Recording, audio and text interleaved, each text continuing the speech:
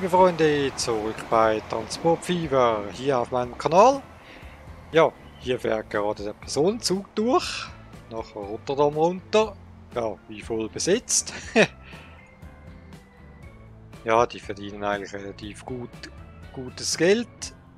Ja, hier hat es mal einen kleinen Einbruch gegeben, aber ansonsten sind die eigentlich relativ voll beladen. Wenn man hier so guckt, die sollten eigentlich gut Plus machen. Die haben natürlich jetzt einen Zug mehr, mehr auf der Linie. Da kommt der Güterzug daher. Die Linie macht mit Sicherheit Minus. Ja, da müssen sie sicher noch Hand anlegen. Das ist ganz klar. Wobei, das wäre sogar eine Linie, die könnte vielleicht hinten lang darüber den Treibstoff hier unten abholen. Womöglich. Würde das nämlich auch funktionieren. Damit wir da einen Zug umteilen können. Weil wenn man die Linie ansieht, dann ja, die gehen natürlich von hier drüben. Und da drüben, da außen rum, geht dann hier natürlich noch nach Lunestedt hoch. Ich denke, das können wir wahrscheinlich einfacher lösen, indem wir hier wahrscheinlich sogar eine zweite Linie eröffnen und das Treibstoff von hier unten holen. Ich würde sagen, das werden wir hier jetzt kurz angehen. Von hier nach hier den Treibstoff liefern. Das wäre Güterzug Treibstoff Zürich. Dann würde ich sagen, wir können den eigentlich da umteilen. Der zweite dann. Weil jetzt fährt der nämlich hier nach Zürich rüber. Den weisen wir einfach der Linie hier neu zu. Dann werden wir hier den hier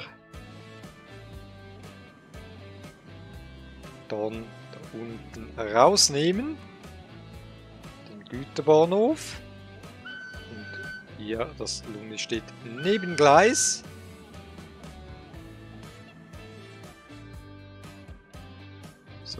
Sollte die Linie jetzt auch getrennt funktionieren von allem. In der Hoffnung, die machen dann ein bisschen mehr Plus. Jo. Soweit das. Und dann würde ich sagen, wir machen hier drüben mit unseren ja, Güterzuggleisen weiter, weil hier sind wir noch lange nicht am Ende. Denn ich möchte die Teile ja bis nach da unten hinziehen. Weil wir hier ein bisschen mehr Züge benötigen, um hier dementsprechend ja, den Kunststoff wegzukriegen. Das geht eigentlich nur, indem wir hier mehr Gleise benötigen.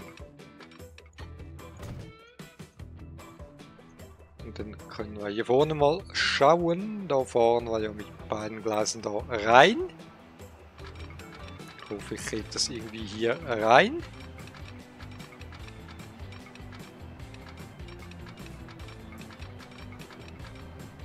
Ja, hier wird es gehen. Das machen wir gleich so. Ja, da ist uns das Signal im Weg.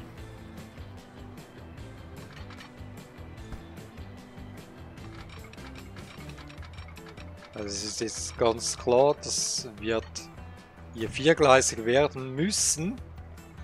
Da haben wir gar keine andere Wahl. In dem Sinn.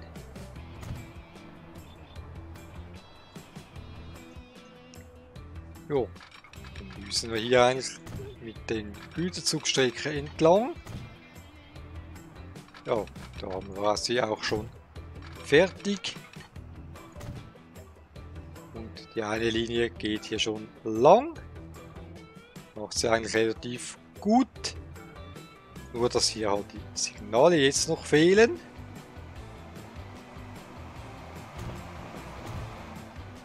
Dementsprechend. Die haben aber ziemlich lange hier kein Signal. Ja, davon müssen wir glaube ich kein Signal mehr machen. Höchstens vielleicht ja hier ja, hier vielleicht können wir eins machen. Dann haben wir hier nämlich auch schon die Linie fertig. Und dann brauchen wir hier noch eine zweite. Und die benennen wir als Güterzug ähm, Kunststoffwerkzeug. Weil hinten bei Zürich können die ja auch äh, Werkzeuge aufnehmen, sozusagen. Kunststoff. Ähm, Werkzeug. Maschinen. Ja. Die geht natürlich von da oben bis nach hier unten hin. Wobei wir könnten uns überlegen, dass wir die äh, Maschinen vielleicht noch hier abladen. Beim Güterbahnhof. Wäre jetzt aber aus meiner Sicht, glaube ich, nicht mal so schlimm. Wenn sie das nicht machen. Da haben wir eh wieder richtig ja, 267 Passagieren, die nach Solothurn rüber wollen. Müssen wir wahrscheinlich mal gucken.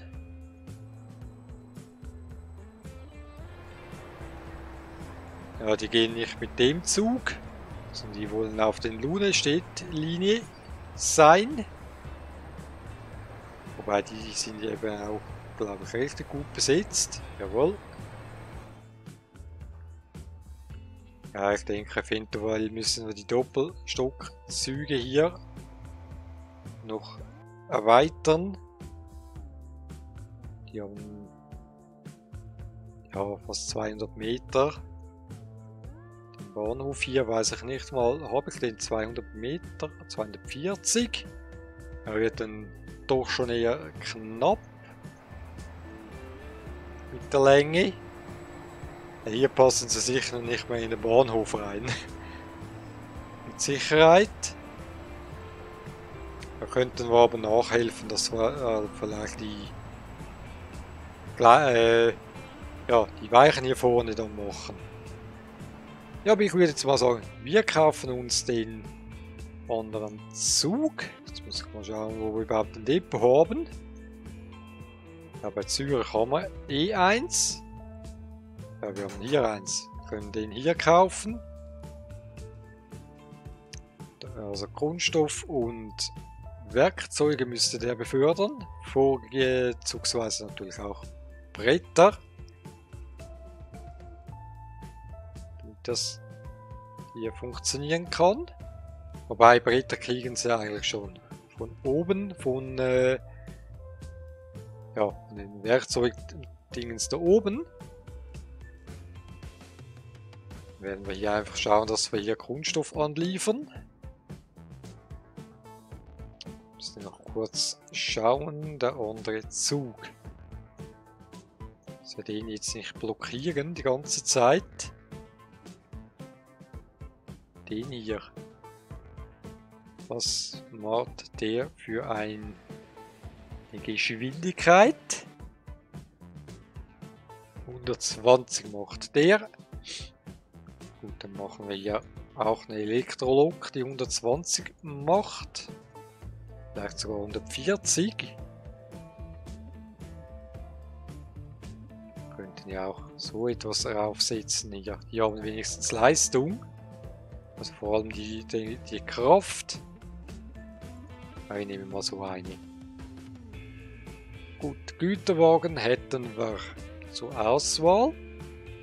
Ähm, für, was habe ich gesagt, Kunststoff müssen wir kurz schauen.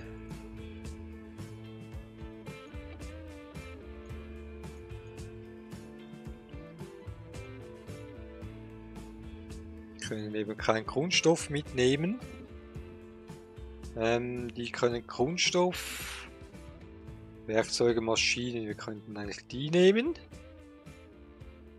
13 Kapazität, das ist mir ein bisschen wenig. Die haben 20. Wir können auch Öl. Ja, wir nehmen die hier.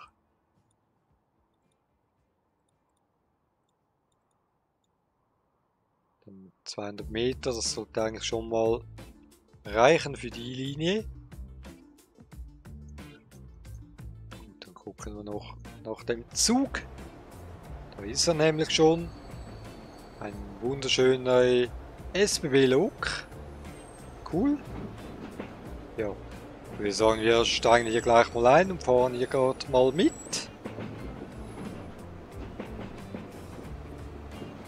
Dem Zug. Also es sollte jetzt allerhand los sein. Da unten.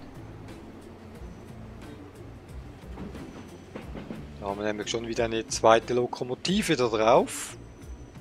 Die nämlich auch noch ein bisschen Werkzeuge mitnehmen kann für Rotterdam. Oder auch die, um da unten die Werkzeuge anzuliefern.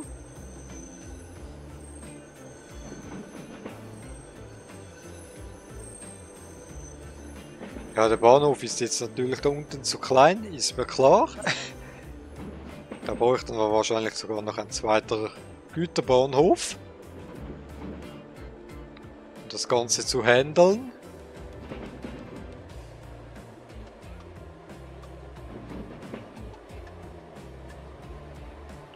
Ja, für den Zug reicht es. Er macht eh nur 125, respektive 120. Das müsste also relativ gut reichen.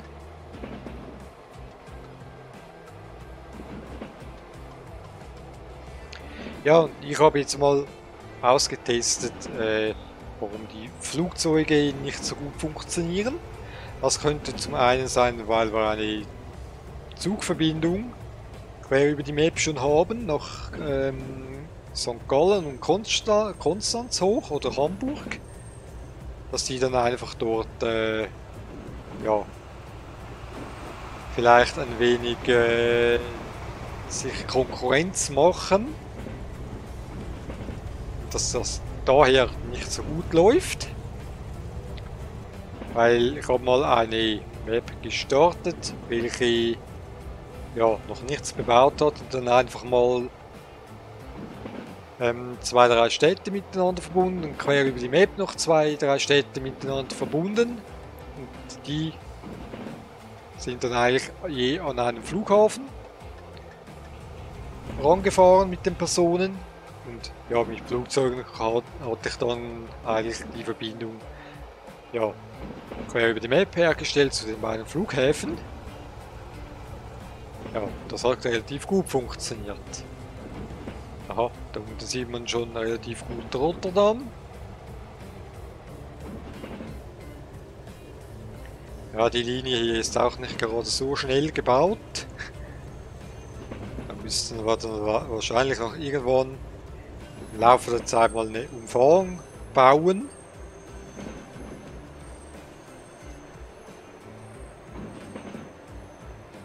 Würde ich mal sagen. Ist rot. Wieso ist da rot?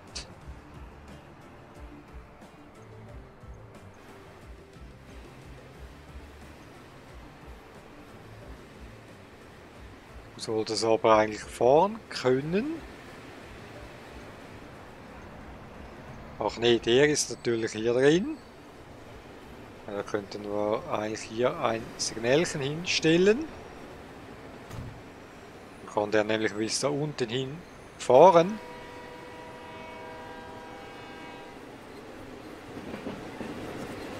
Ja, der ist mit gut mit Bretter beladen hier.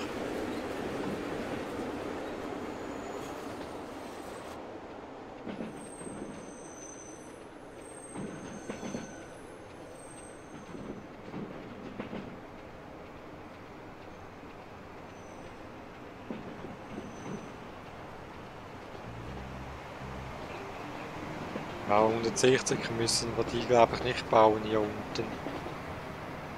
Das würde nichts bringen. Und die, die Gleise umbauen, ja, hier stehen richtig viele Leute. Ich denke höchstens, wir könnten hier vielleicht was mit dem U-Bahn-Bahnhof noch machen. Dass wir hier noch eine Entlastung reinkriegen nach Solothurn rüber.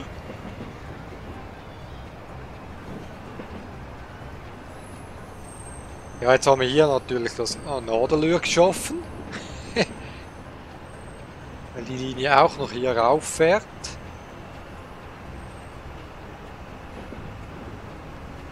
Aber da kann man durchaus noch was machen. Zum Beispiel mit einem Tunnel hier unten durch.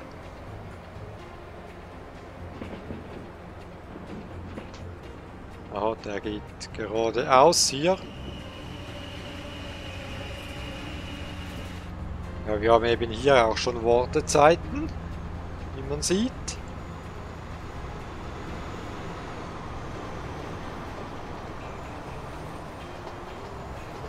Ja, ich denke, da müssen wir was mit den machen, damit wir Personenzüge irgendwie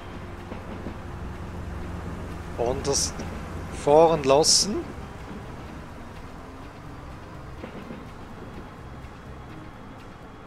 Das kann so sonst nicht funktionieren.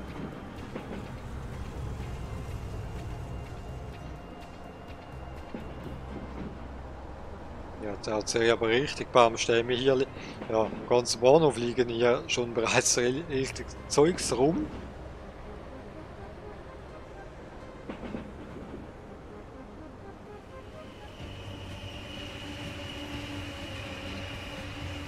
Gut, haben wir hier aber schon mal einen weiteren Zug. Ja, der belädt hier auch schön, schon mit Kunststoff. Das funktioniert also schon, dass der Kunststoff mitnimmt. Ja. Wie gesagt, wir müssen hier definitiv da hinten was machen. Von wegen Gleisbau, dass wir hier die Personenzüge auskreuzen. Weil das hier ist ein richtiges Nadelöhr jetzt geworden. Und ähm, ja, müssen wir mal schauen, wie wir das lösen können. Wir könnten hier natürlich den Tunnel unten durch verlängern, dass wir hier hinten rauskommen. Das wäre eine Möglichkeit. Gucke hier mal gerade, wie wir das lösen könnten am besten. Es ist natürlich logisch, dass hier die Häuser dann weg sind. Die müssen halt hier jetzt einfach weichen. Anders geht's nicht. Dann gehen wir hier scharf rum. Hier gehen wir gleich nach unten. Gleich. unter die Erde.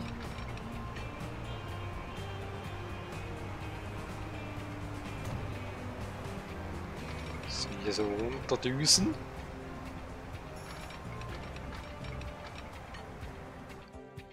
Können wir nämlich hier unter dem Bahnhof durch.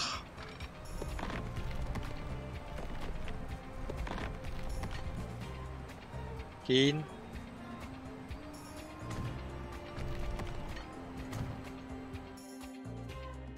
So hier vorne eigentlich mit den Gleisen hier unten noch da hinten kommen.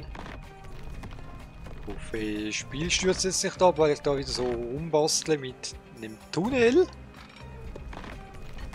Das ist immer die Gefahr, dass das auch noch ein bisschen schief geht. Es geht relativ gut. So. Mal schauen, was die Linien jetzt machen. Ja, die Düsen roten schon mal geradeaus, die einen zumindest. Das heißt, wir müssen hier jetzt noch kurzerhand Signale haben.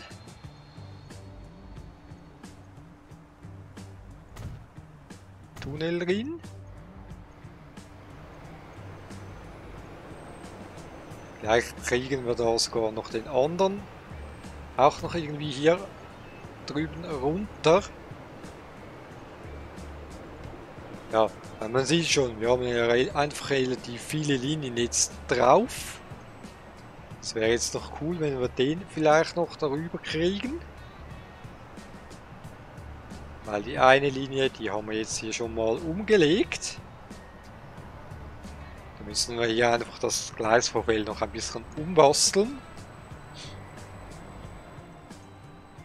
Ja, weil den bremsen wir hier ziemlich aus, trotzdem noch. Ja, und wenn man hier einfach guckt, Passagiere, das ist der Wahnsinn. ja, das werden wir aber in der nächsten Folge angehen, würde ich behaupten. Ich hoffe, euch hat die Folge gefallen. Wenn ja, lasst einen Daumen nach oben da oder sogar, wenn ihr noch kein Abo habt, haut ein Abo raus. Sodass ihr nicht keine Folge verpasst von Transport 4 und dann ja, wünsche ich euch alles Gute und ja hoffentlich bis morgen. Tschüss!